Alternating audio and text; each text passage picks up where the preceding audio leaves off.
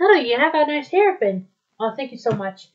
I really appreciated all the help because I was just um putting my blue, dark blue ribbons on me. Huh, You're a different person now, right? Of course, I'm a different person. It's in my title on, on the bottom of the video. Really? Was it your title on the bottom of the video? Of course. Its name is um Elizabeth Olsen. That's my name. Your name is Elizabeth Olsen? Yep, a dark blue ribbon girl. That's what I'm. It's cool. I like how you said that. Um, about that. What is it? Um, we're gonna do that story. Really? Yeah, those clouds are working together.